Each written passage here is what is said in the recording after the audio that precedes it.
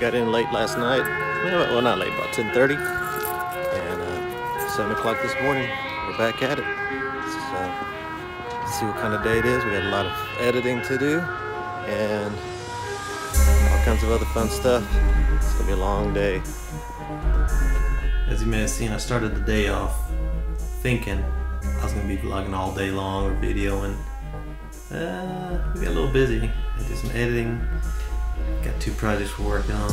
Work stuff. Boring, boring, boring. But just wanted to give you an update where I was with it.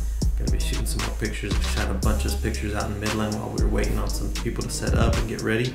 So I uh, just wanted to show you a couple of those, which is pretty cool. It was in a uh, petroleum museum and uh, pretty cool. Check it out. All kinds of stuff, uh, old equipment, uh, different hoses, uh, not hoses, but um, machinery with belts and chains and all kinds of tricks. It was always cool shots.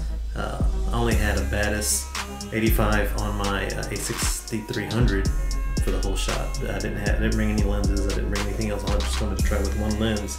I'm kind of sticking with one lens for now, just to see what I can do with uh, that one focal length and just have fun with it. Of course, it's an 85 1.8 aperture, so all I used was a 1.8. I didn't really spend a whole bunch of money for a 1.8 aperture on an 85 just for me to shoot at 8.0 all the time. So just wanted to see what I can get at 1.8. So check it out, these are the shots, and I hope I can produce more content. Uh, I saw four views on that last video. It's pretty good. That means two people watched because two are mine.